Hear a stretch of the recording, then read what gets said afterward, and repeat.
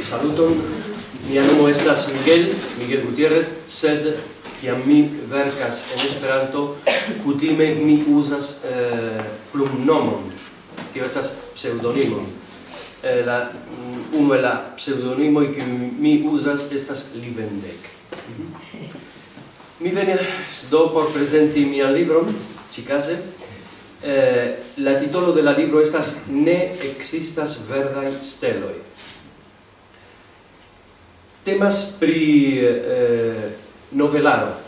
Tamen ne pri normalaj noveloj, sed pri micronoveloi. Tio estas tre malgrandaj noveloj. Foje povas esti eĉ unulinia.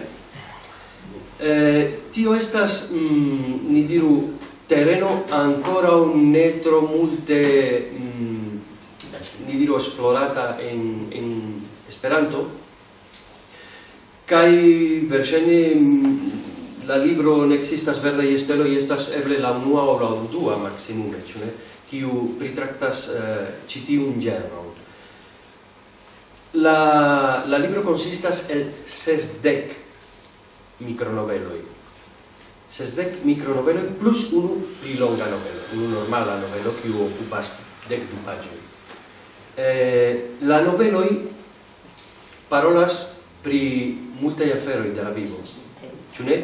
Foie pri exemple vi povas vidi la la bildon de la de la covrilo e la eh, sur la bildo de la covrilo eh, oni vidas eh, ke estas eh, muro, ciu ne? Estas iom da herbo kiu aperas, ciu ne? Kiu propodas vivi, ciu ne? Algluita al kiu al pezzeto eble da da polvo en la muro kai anca estas valizo.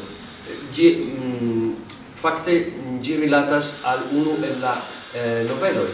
Unu el la noveloi en kiwi exemple eh, viro alvenas al nova urbo, li condutas kiel vagabondo, tute simple, ciam cum valizo, ciam cum un valizo, kai li neniam lasas la valizon, kai dum multe da jaro li loĝas en tiu vilaĝo, Kai vi demanda sin, kio esta sene de tiu valizo, ĉu ne? chi li ne, ne, ne forlasas ĝin, aŭ kial li ĉiam kunportas ĝin? kai nur kiam li mortas, oni malfermas la valizon. kai trovas la historion en. Mi ne racontus, ĉar tio estas... Do, per tio kion mi volas diri, mi volas diri ke ĉefe en la libro estas sento ne multe sento sentoj, foje estas e sento. Estas rakontoj, estas micronoveloi en kiu eh, oni parolas pri virino, pri virino kiu faras gantojn por la etzo. Ĉu ne? Kai mi ne diros kio okazas en la romano, sed en la fino oni trovas eh, forteneion en la domo kie estas miloi da gantoi nefinitai. Ĉu ne? kial tio casas do vi malcovros legante la, la libro. Unu recomendo, unu recomendo. Ĉar temas pri micronovelo micronovelo ne estas normale noveloj, ĉu ne?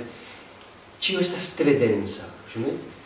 Do, tio signifas che per malmultaj vortoi oni diras multego Do, oni ne legas ilin simple, ĉu ne?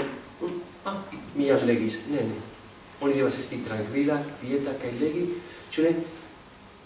Eziante che la verchisto ci casemime, cioè, volis diri multo pli, por facte oni legas. Foie, oni povas legi tri linian uh, novelon, kai tamen vi mem poste faras tutan romano el tio. Ciar vi comenzas con si, cio casis al tempomo, cial tio? Oh. Do, eh, Micronoveloi estas aparta genro kai do mi rekomendas ke vi aliru ĝin. Sed ne facilanime, sed un tranquilo hm, ke vi legu. Do gi estas e la en la en la libroservo, vi povas aceti gin, kai uh, eh, mi ne cias ciu diri iom plia, nur ke aperis eh, gis nun aperis almenaŭ tri recenzoi, eh, unu eh, en eh, Esperanto de UEA, alia en Beletra Almanaco, ancao, alia en literatura foiro, cae ciui estis tre positivai, cio facte tre giogigis min. Mi esperas che ancao vi giuos la libro. Dankon.